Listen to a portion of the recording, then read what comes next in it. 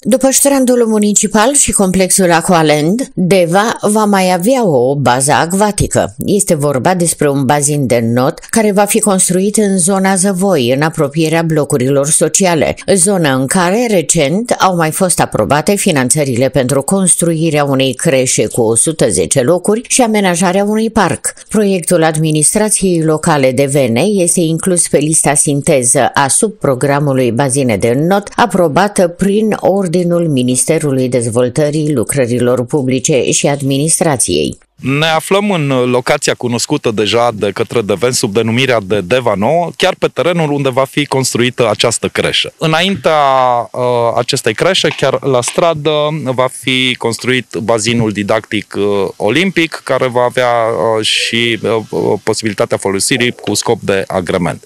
Deci vine uh, de la stradă bazinul didactic olimpic, creșa și în continuare va fi un parc.